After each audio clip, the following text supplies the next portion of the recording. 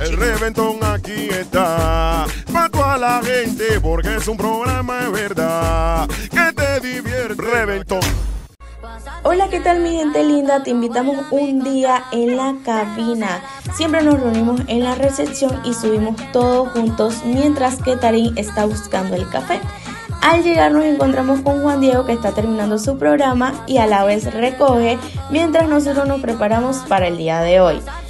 Recuerden seguirnos en nuestro Instagram como EP3 Reventón y suscribirse al YouTube como El Reventón de la Mañana.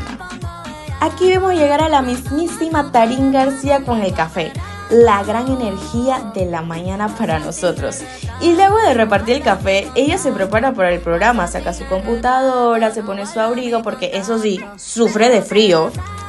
Y yo aquí con mi cafecito, ¡ay qué rico! Y ahora sí arrancó el gran programa. Durante el programa interactuamos con ustedes, los oyentes, sobre diversos temas, recibimos llamadas, chat en nuestras redes sociales. Y aquí vemos a nuestro gran amigo Juanda, nuestro nuevo compañero, poniendo videos para entretenerlos, además de bromas telefónicas, audios, promos de evento y más, y las últimas noticias. Y a continuación les voy a presentar esta hermosa vista que tenemos desde la cabina. Miren, ahí está nuestro compañero John de redes sociales. Saludos.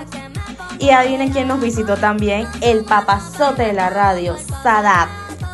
Eh, pero con un saludo bastante peculiar y cariñoso, pero eso sí, a su manera. Ey, pero vieron la cara del INE. No sé qué pasó con mi cara, Juanta, pero ya estamos finalizando el programa. Les muestro un poco lo que contiene nuestro gran espacio de trabajo. Todo, todo, todo. Miren, aquí vemos a Tarín, vemos a Juanda bien distraído. ¿Qué te pasa, amigo? Vemos a Sadat comentando. Vemos al jefecito, ay, patroncito, Dios mío. Miren, les muestro todos los equipos que tiene la cabina.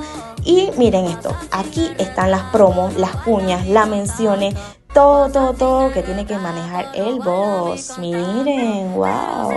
Y bueno, aquí Juanda también quiso agarrar controles de la cámara y me grabó bailando. Yo que soy dos pies izquierdos. Y adivinen, se acabó el programa. Nos fuimos a nuestra oficina y salió la mismísima y nuestra gran amiga, compañera, un amor de persona. No sabía lo que estaba pasando, obvio. Y nos despedimos con la cara del boss.